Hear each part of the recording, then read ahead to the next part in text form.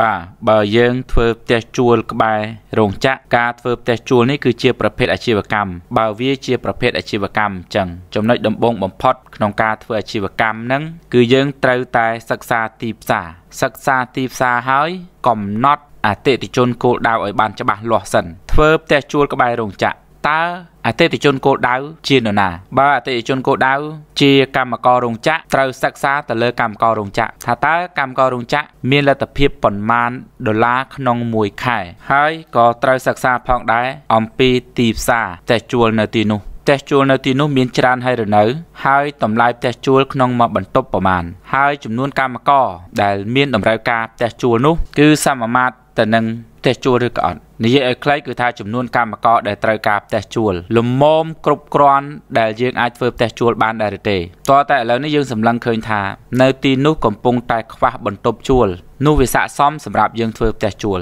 ចឹងយើងត្រូវធ្វើផែនការអាជីវកម្មនឹងដើម្បីរកឲ្យឃើញថាតើយើងទទួលបានផលចំណេញប៉ុន្មានក្នុងរយៈពេលមួយខែហើយក្នុងរយៈពេលប៉ុន្មានទើបយើងអាចស្រង់ទុនដែលចំណាយបាន ហើយក្នុងក្នុងរយៈពេល1ឆ្នាំ យើងចំណេញសុទ្ធនឹងប្រមាណហើយក៏ត្រូវសិក្សាផងដែរអំពី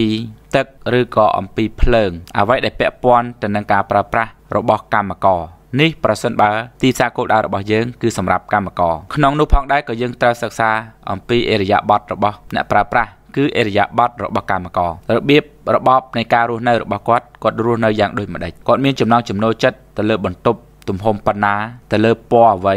ហើយគាត់មានការទុកដាក់ទ្រព្យសម្បត្តិឬក៏របស់ទ្រព្យអ្វីខ្លះដែលយើងត្រូវបង្កលក្ខណៈងាយស្រួលចំពោះគាត់ឥឡូវនេះចាត់ទុកថាការធ្វើផ្ទះជួលនេះយើងបានសិក្សាអំពីទីផ្សារគោលដៅនិងត្រឹមត្រូវហើយទៅចុះឥឡូវនេះនៅមានសំណួរមួយទៀតគឺខ្ញុំចង់ធ្វើបន្ទប់ជួលរួចហើយបានធ្វើផ្ទះតាមក្រោយចំណែកប្រពន្ធរបស់ខ្ញុំចង់ធ្វើផ្ទះរួចហើយបានធ្វើផ្ទះជួលតាមក្រោយតើគំនិតរបស់ប្រពន្ធខ្ញុំនិងគំនិតរបស់ខ្ញុំមួយណាល្អជាង ជាការពិតណាស់លំដាប់លំដាប់នៃចំណូលដើម្បីឲ្យមានស្ថិរភាពនោះគឺយើងត្រូវសាងសង់ប្រភពចំណូលមុនសាងសង់ផ្ទះឬក៏សាងសង់អាជីវកម្មមុនសាងសង់ផ្ទះបើយើងមិនទាន់មានប្រភពចំណូលទេ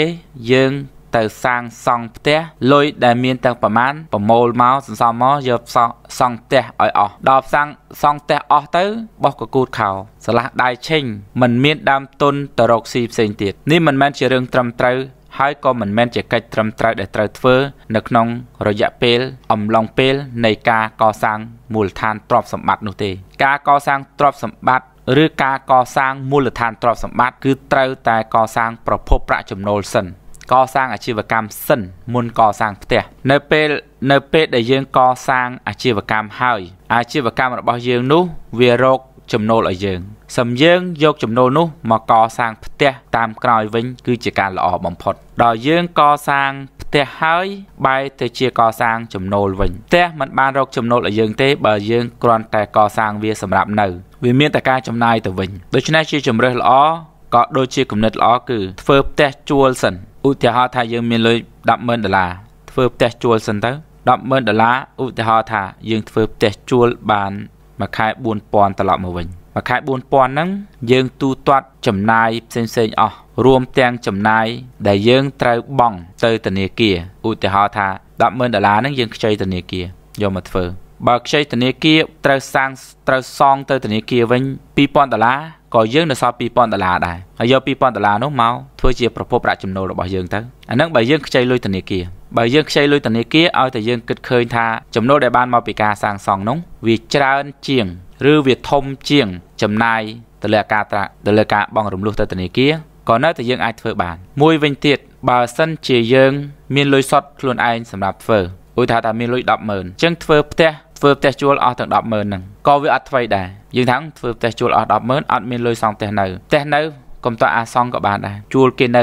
4 5ឆ្នាំសិនក៏បានឬថាបើយើងមានភាពចាំបាច់ខ្លាំងក្នុងការធ្វើផ្ទះឧទាហរណ៍ថាម្ដាយយើងចាស់ពុកយើងចាស់ចង់ធ្វើផ្ទះឲ្យគាត់បាននៅមុនពេលគាត់ចែកឋានក៏យើងអាចយកលុយពីធនាគារ ដោយយកផ្ទះជួលរបស់យើងនោះ ដែលយើងបានប្រើលុយសុទ្ធ100000ទៅសាងសង់ផ្ទះជួលបូកជាមួយនឹងថ្លៃដីទៀតគឺយើងអាចខ្ចីធនាគារបានមកវិញ សម្រាប់សាងសង់ផ្ទះចចឹងជំរើសដែលយើងសាងសង់ផ្ទះជួលមុន គឺនៅតែជាជំរើសល្អជាងការកសាងផ្ទះនៅមុន សម្រាប់ផ្ទះនៅនេះប្រសិនបើយើងមិនទាន់មានភាពចាំបាច់បានសេចក្តីថាយើងមិនទាន់សល់លុយច្រើន ហើយយើងមិនទាន់មានមុខរបរ ច្រើនឬក៏មុខរបរដែលមានស្ថិរភាព យើងនៅផ្ទះជួលសិនទៅព្រោះថាបើយើងយកលុយ100000នោះមកមកធ្វើផ្ទះជួល បានមួយខែ4000ត្រឡប់ទៅវិញបើយើងជួលផ្ទះនៅអស់តែមួយខែប្រហែលជា